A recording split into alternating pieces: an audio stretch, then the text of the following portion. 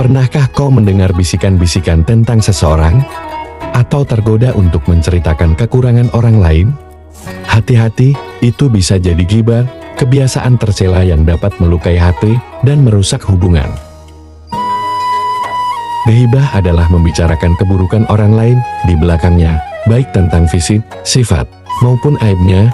Kebiasaan ini dapat menimbulkan rasa sakit hati dan merusak reputasi orang lain. SWT secara tegas melarang ghibah. Dalam Al-Quran, larangan ini menunjukkan kasih sayang Allah kepada hambanya, agar terhindar dari dosa dan menjaga hubungan persaudaraan.